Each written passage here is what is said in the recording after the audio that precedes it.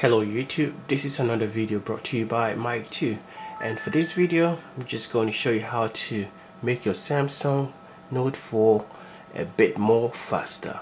Alright, so to get started, just want to show you this. So on your Samsung Note 2, uh, sorry Note 4, when you press on the home button, it takes a bit of time to get back to the home screen and the reason is that is because the S voice listening in to see whether you're going to press the the home button twice to activate the S voice so to avoid this from happening what you need to do is you need to go to S voice then you click on the settings at the top end here.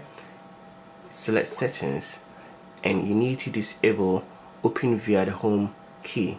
So once you disable that option then you head back to your screen. So as you can see it's way faster. There is no lags or delays.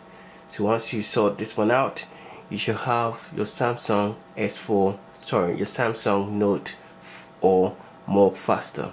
Okay then stay tuned for more of these tips